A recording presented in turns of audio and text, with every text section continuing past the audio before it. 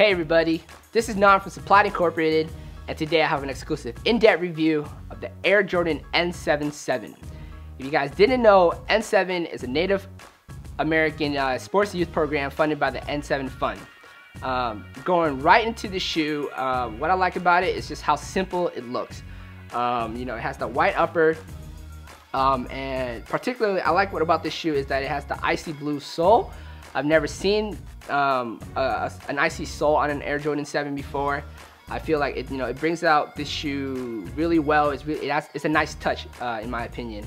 Um, not a lot going on except, you know, these tribal prints on the on the neck part of the shoe, as well as inside the tongue. There's some the I wouldn't, I don't know if that's a, the signature N7 um, print, but I've noticed it on a couple N7s before.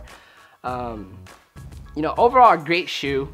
If you guys purchased the, um, the Air Jordan, the Hare 7s a couple weeks back, I'm more than positive you guys will love this shoe. Although it doesn't have as much history as the Hare 7s, it is a, uh, a great shoe to have nonetheless, especially since summer is coming around.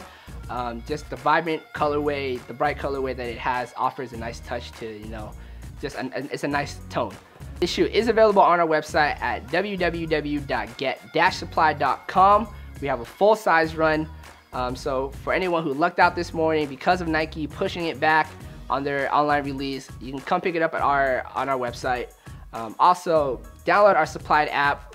We're doing a lot of giveaways, a lot of promotion. You know, stay stay updated on news, products, all the goodies. So yeah, download our app, available on the Android store and the app, or Apple store.